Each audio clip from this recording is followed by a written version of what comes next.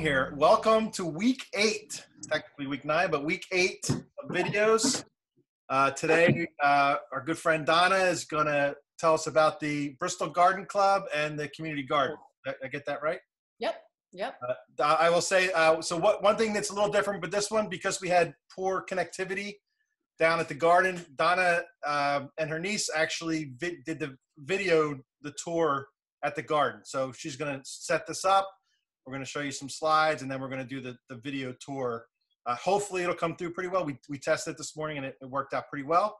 Uh, so without further ado, take it away, Don. All right. Um, so the Garden Club of Bristol Borough actually started uh, when I was working at the Grundy Museum. And the Grundy Foundation uh, provided the seed money to get the Garden Club started here. Um, and the reason for that was Margaret Grundy was uh, passionate about her, her, own gardens. And so um, we just thought it would be a great program to begin at the, um, at the Grundy Museum. And it stayed there until my retirement. And so in 2018, the Garden Club of Bristol Borough is now a standalone um, 501c3 nonprofit organization in and of itself. Um, if we can go to the next slide, Carl. I'm not going to read through all this, but this is generally uh, the purpose of the club. We like to uh, just beautify our borough. Um, we encourage people to, to garden. Um, we try to provide classes for uh, horticulture and floral design. And uh, one of my own passions is preserving the cultural and natural landscapes here. Uh, but the real big thing is to uh, create community and um, provide opportunities for in, intergenerational um, connections and cross-cultural connections.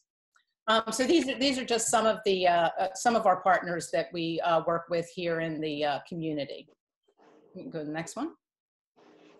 So uh, you know, what does the Garden Club do? Well, this is this is where we started out. We decided that we were going to uh, beautify um, the gateways here in Bristol. And you can see on the upper left, that's what the uh, entryway looked like uh, before we got started. And down on the lower right is uh, the gateway um, after it was first planted.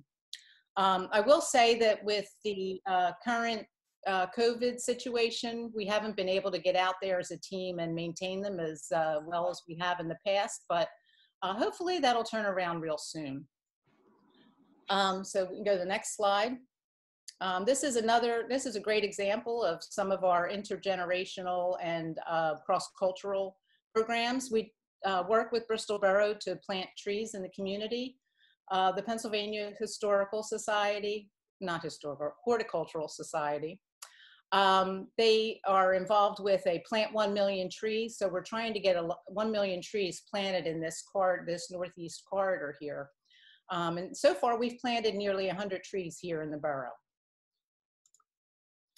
Um, so one of the members of our club, uh, he joined, he was there with his wife, and he said, you know, maintaining the gateways and um, planting flowers, that's all well and good, but I really want to grow veggies. I want to grow food. Uh, he belonged to a community garden out in Langhorne, so he was driving from Bristol to Langhorne to attend his, his gardens. And so we decided, well, let's let's take a look around and, and see what we see what we can do. Um, and so we established Adams Hollow Community Garden in 2015. And this has really become our, our biggest program within the Garden Club. It takes up a good uh, part of our time, but also it's the main source of revenue for our club. So what we, and, and, you'll see it when we get into the video, but what we found was uh, an area of the borough um, that was uh, formerly used as tennis courts. And they were abandoned for about 15 or 20 years. So it wasn't ideal, but uh, because it is macadam, but we decided to uh, go ahead and we would just make the beds a little bit higher. Um, so a group of us attended um, workshops down at the Pennsylvania Horticultural Society, the um, uh, garden tenders. uh, Sally McCabe came out to the Grundy Library, gave a presentation, and then a number of us went down to learn how to build a community garden. Um, and if anybody wants to do anything like this in their community, if you're in the Philadelphia area, I highly recommend it. It was really a, a, a very, very good program and gave us a good foundation um, to have the kind of garden that we have, which I think is uh, rather successful. so here we have some photographs. We did work with the um, schools the kids came out and helped us build the beds. Uh, we had a partnership with the borough. They came in with the front end loader and helped load all the soil into the bed so we didn't have to hand shovel all that. Um, that was a big help. Uh, you can see that in the upper right hand corner. Um, and then this is one of our newest additions to the garden is um, Dennis Cockeram from the Buxadelphia Honey Company. Uh, he approached me right after we started the garden, and it took me a little while to warm up to the idea um, because I was concerned about liability. Um, so we took time to speak to every individual gardener to ask them what they thought about bees, try to find out if anybody was allergic. Um, if you're working in a garden and you've got exposure to bees anyway, but this kind of upped the ante. His um, hives are located near my beds. I have four beds at the garden, and I just thought, well, that I'll be the buffer between the beehives and everybody else. They have swarmed. We have had some people get a little bit nervous about it, but we haven't had really any issues. Um, other than I think Matthew got stung uh, the other day tending his bed, but um, Dennis is a willing uh, educator. You can see him with a group of kids from St. Mark's. They came over for a seed starting program, and uh, he explained the um, honeybees there. So, go on. Uh, some of our programs and events at the um, garden is uh, we try to do an annual covered dish supper. So uh, towards the end of the growing season, people harvest their food um, bring it in and uh, you know make a, a, dish and bring it to share with others.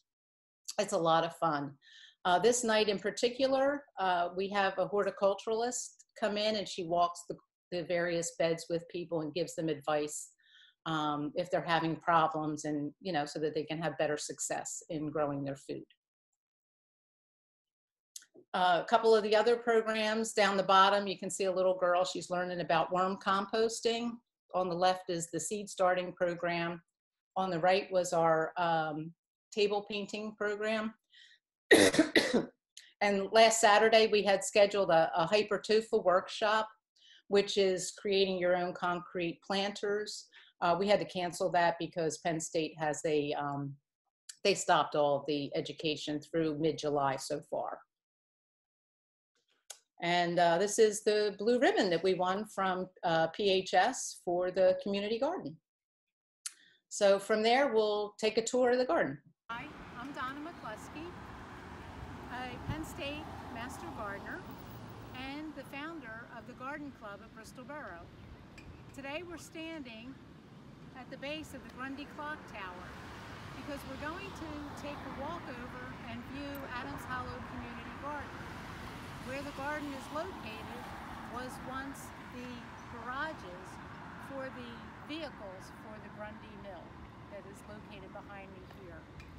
Um, but before I get started, I thought I'd give you an idea of the setting of where the garden is located. So as we look around, you'll see that it's located in Delaware Canal State Park.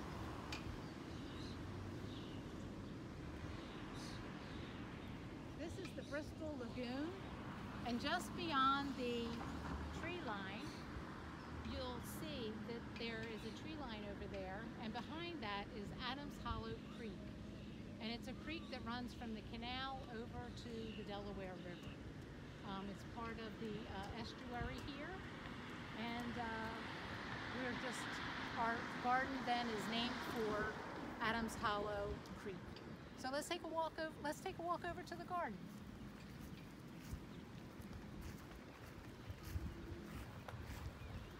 So here we are at the entrance to the Adams Hollow Community Garden. The Garden Club of Bristol Borough was established in 2013 and we as I explained earlier, we had several projects that we worked on in town, and we had one particular gardener, uh, Paul, who said, you know, I love helping grow the flowers and beautifying the gateways, but I really want to grow some veggies. I want to grow food. So we started to look around the borough to try to find the best place for us to start a community garden. And lo and behold, we came across this space, which was formerly tennis courts. So let's go inside and take a look. So we're inside of the, the garden now, and you'll see that it's completely lined with uh, fencing. Uh, this is existing from the time that the Grundy Foundation uh, built these tennis courts as recreation for the residents of Bristol Borough. Uh, they operated from, I think, the late 70s, somewhere around that time. Um, and then for, I would say, the last 15 or 20 years, they've been abandoned. Um, but although the tennis courts were no longer here, this was a great space because it is completely lined with fencing. We have a beautiful pavilion here where the spectators uh, would sit and watch the tennis matches. And we thought, well, okay, it's not ideal, it's on macadam, but we'll just make our raised beds a little bit larger. Um, so we approached the Grundy Foundation and the Borough of Bristol, and the reason that we had to approach both was that Joseph Grundy uh, deeded this land to the borough with a deed restriction that it was to be used for passive recreation. So in 2015, when this garden was established, we entered into a, an agreement with the Borough of Bristol and the Grundy Foundation uh, to establish Adams Hollow Community Garden. So this is our fifth year, and we're very excited to come to you today on Community Garden Day, June 20th, which is also the longest day of the year, the summer solstice. So when we first built the garden, we built it in three phases. And the first phase is this area that we're standing right now. And the first phase, the gardeners that began with us five years ago, all but one of them continues to garden here at Adams Hollow Community Garden. So we have 123 large raised beds and we rent those for $25 a year. The small beds, we have 33 of those, although only 19 are rented. Uh, the rented ones are $15 a year. All of the small beds along the fence are considered public beds. Uh, we have various things growing in them. And at the very end of this first row, you can see some boxes uh, that are our beekeeper. In 2018, 2018 we started with a uh, beekeeper, Buxadelphia Honey Company, and he has expanded the bee house and the beehives and we do expect to be able to get some honey from the bees this year. So as I mentioned, the garden was built in three phases. The first phase was here. We followed up with phase two over here. And then the third phase, we became very, very energetic and we decided to build out the whole rest of the garden. So with this final build out, it brought us to, as I said, 123 large beds, 33 small beds. We have a total of 68 gardeners of all ages. 44% have two or more beds. This year, 2020, is the first time that we've ever had a wait list. Our garden is open from dawn until dusk. And we do um, have the luxury of three seasons of gardening here. So the one benefit of building on blacktop is the garden heats up very uh, quickly in the spring and it lasts way through the end of November or early December. So we can harvest cold crops all the way up until after Thanksgiving. So we're going to take a look at a couple of beds that are finishing up the cold weather crops. So here we have a crop of potatoes planted and potatoes can be planted at St. Patty's Day. On St. Patty's Day you can plant potatoes, peas, and onions. Um, so that's pretty early. Most people don't think about gardening in March. Um, but this, this is a beautiful crop of uh, potatoes that this gardener will soon be harvesting. Uh, we'll head over to take a look at some more cold weather crops. Here we have a bed of uh, two different types of cabbage growing. We can zoom in here, you can see the head starting to uh, form.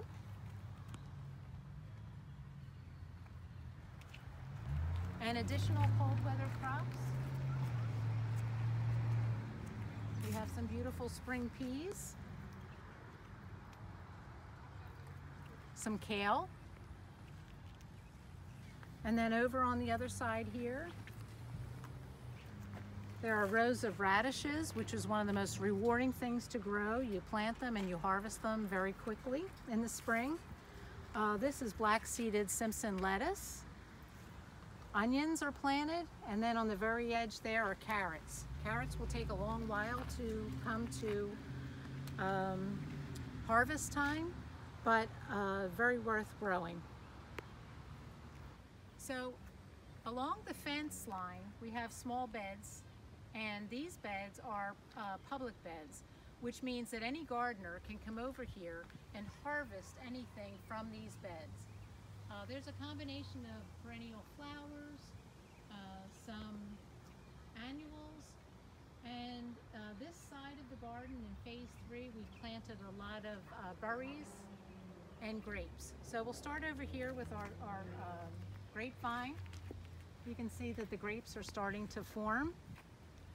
Uh, last year was the first year that we were able to harvest grapes from the vine. It takes several years to get um, both grapes and berries established in the garden. Um, so we have two beds of grapes and then we'll head down to look at some of our berries.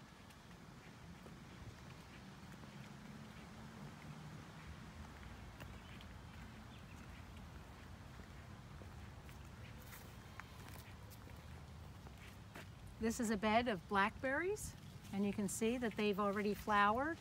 Uh, the ones on, on this stalk are beginning to really starting to ripen and the younger fruit is up here on the upper part. So we have blackberries and we have raspberries.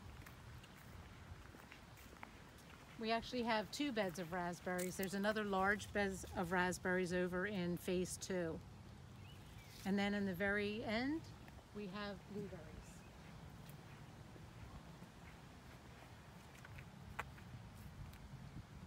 And as you know, around July 4th is when we'll be harvesting blueberries. So as the warm weather is approaching, uh, a lot of our warm weather crops were planted um, a few weeks ago, and it's amazing that in just a few weeks, uh, the plants have really um, begun to thrive. If you come over and take a close look, this is a plum tomato that's been planted, and it's loaded with fruit. And next to the tomatoes is a bed of zucchini. There's a bed of squash.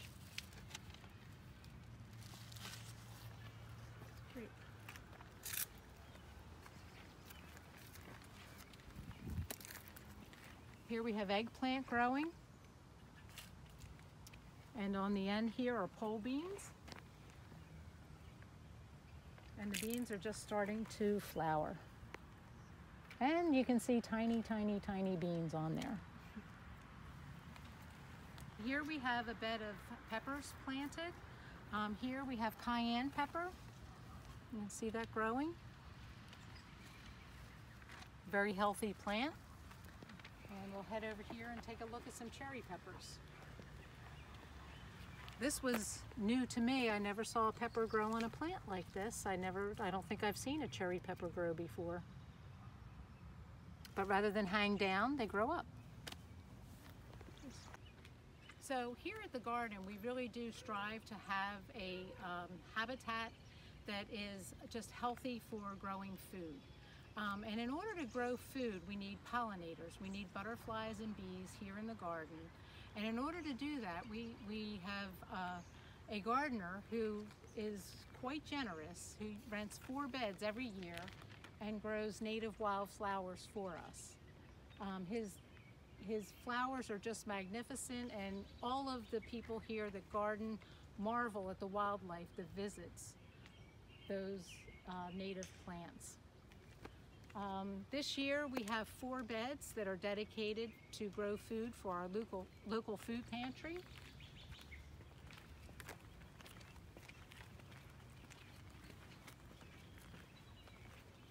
And those beds are here. We have uh, squash and beans growing. There's, there's peas and beans and uh, another bed down there at the end. Um, another thing that we know is that after we grow food here in the garden, um, once we harvest the vegetables or the food from the garden, we have depleted the soil of nutrients. So it's very important to um, have compost to add nutrients back into the soil for next year. So we've begun a composting. Each quadrant of the garden has a composting bed. And it looks quite a mess, but it will turn into that black gold that we need to, in order to grow um, great food.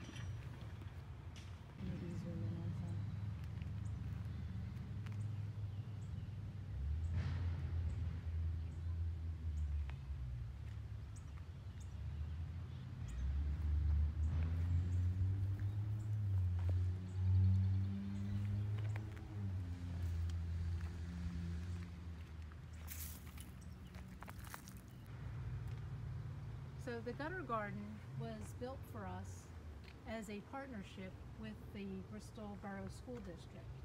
Uh, the students in the um, garden project over at the high school built this gutter garden for us and uh, this year we have it planted with uh, various plants and it is just thriving. Beautiful nasturtiums, there's some alyssums, some violets, some sedum, and all of these also help to uh, provide food for pollinators and try to keep insects at bay. Our beds over in this area are, again, public beds, and most of them are marked by these beautiful tiled poles that were made for us by the um, Bristol Borough First Fridays as part of the Community Mosaic Project. And um, Pat Buchanan and Kim White um, were some of the people involved with getting that uh, going on First Fridays. So they created these beautiful, beautiful poles for us, and they really add a little bit of artistry to the garden. Uh, this obviously is a bed of mint.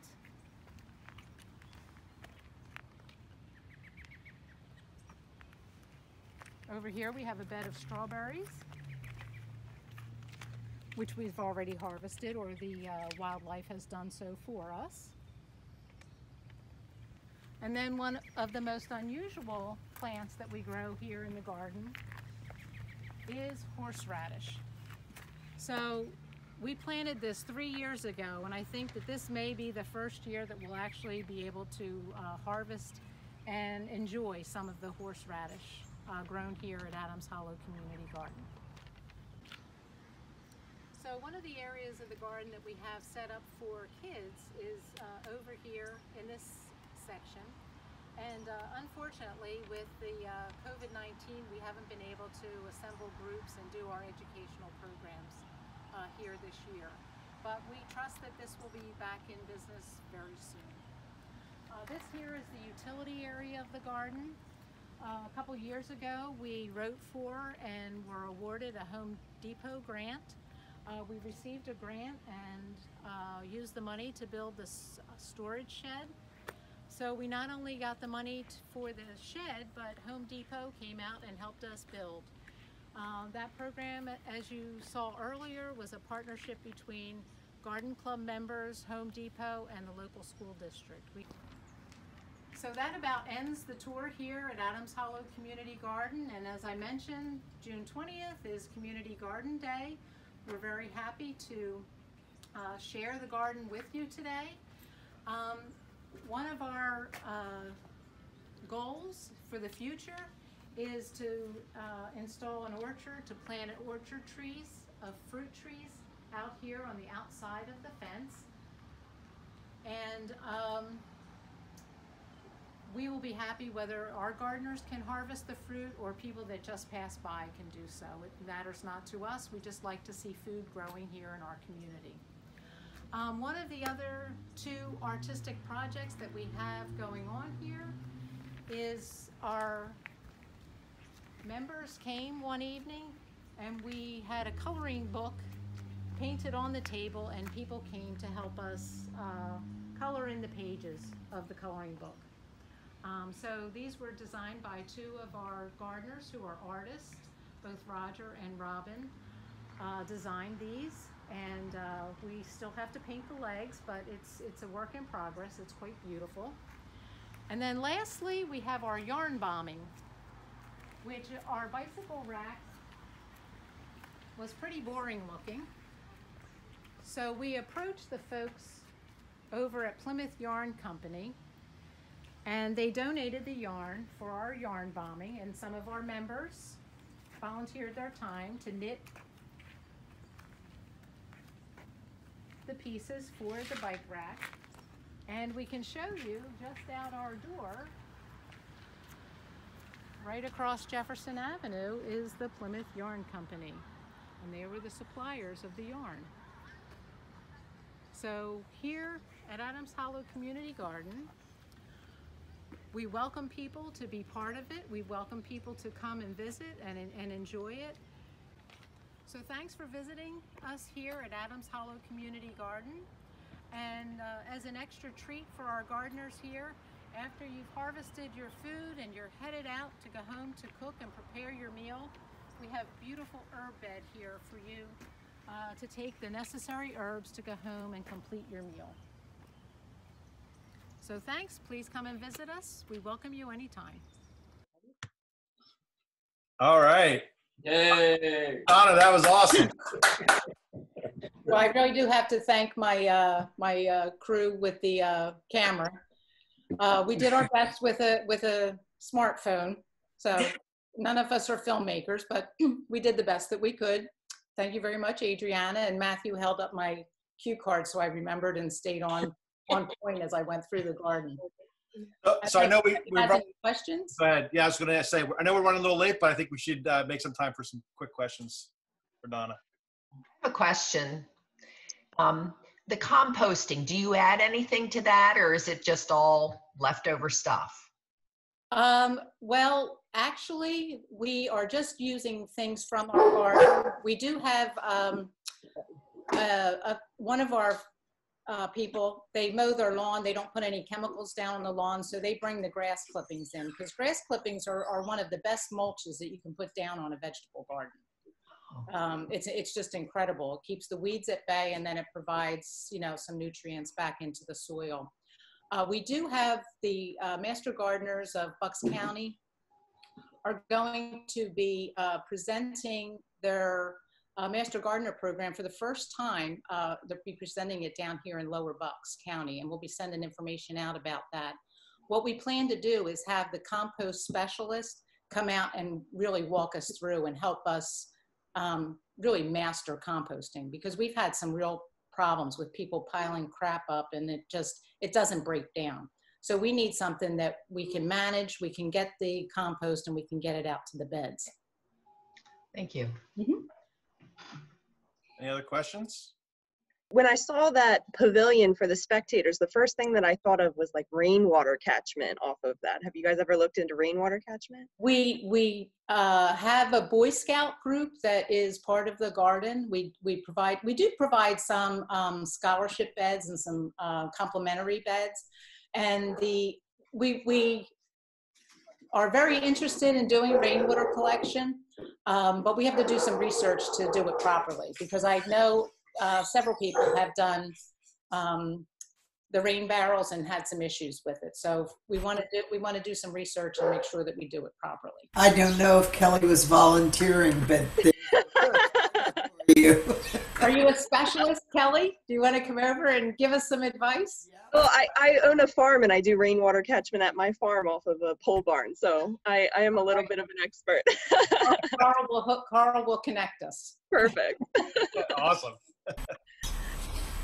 All righty. Well, Donna, uh, this was really amazing. I know you put a lot of work into video and and um, Adriana and Matthew, thank you for helping. And uh, we'll see you guys next week. Next week, a friend of mine from uh, art school, Joe Sheldon, makes custom guitars. Sort of a side hustle for him in his basement, and uh, I think it'll be a really great one. So, thanks. Uh, have a great weekend. Stay healthy. Bye, everybody. See everybody. Have a good week. Thank you. guys. Bye.